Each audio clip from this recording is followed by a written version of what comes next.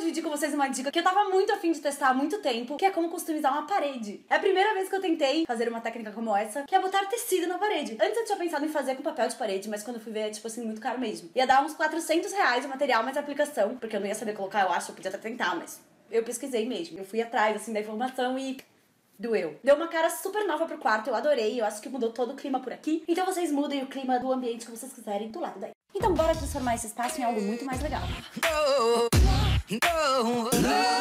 E essa foi a parede que eu escolhi pra começar. Eu usei esse tecido geométrico pra dar um ar mais moderno pro espaço. Eu recomendo algum tecido mais grossinho. O meu é gorgurão.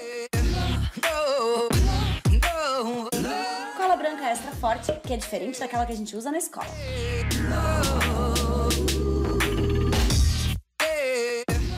Qualquer, pode ser desses pequenos ou aqueles de parede, tanto faz. Um potinho ou uma bandeja de pintura.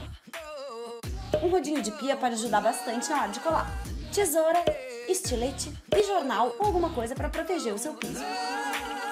E muito importante, você vai precisar de alguém para te ajudar. Eu chamei a minha mãe que já estava por aqui. E bora lá! Começa liberando seu espaço e tirando tudo do caminho que possa te atrapalhar. E o primeiro passo é tirar a faixa lateral do tecido, dos dois lados.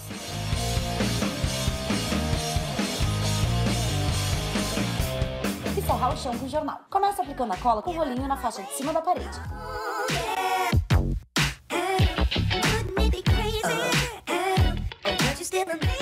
E para deixar os cantinhos perfeitos, eu usei um pincel. E vai colando o tecido devagar, com bastante cuidado. É importante deixar uns 5 centímetros de sobra em todos os lados, que depois a gente vai cortar. E aí é só ir enrolando e aplicando a cola, em faixas de mais ou menos uns 50 centímetros. É nessa hora que o rodinho de pia pode ajudar bastante, principalmente para fazer os cantinhos. E repete a mesma coisa até o final. Vai alisando bem os cantinhos com o rodo para que fique tudo bem perfeito.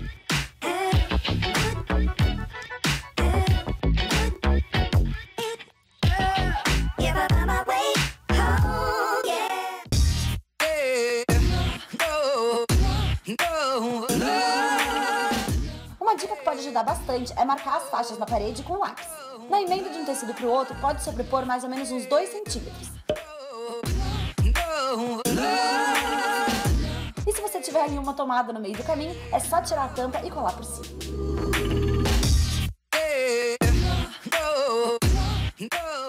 Depois é só recortar o tecido com estilete e colocar a tampa de volta. Super fácil, vocês vão ver.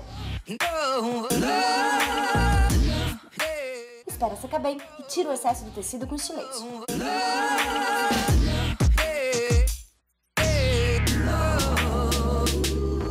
E é isso. Agora, só para proteger o tecido, eu passei uma camada de cola diluída em água por cima. A mesma quantidade de cola e água. Mistura, aplica e voa lá. Tá pronto.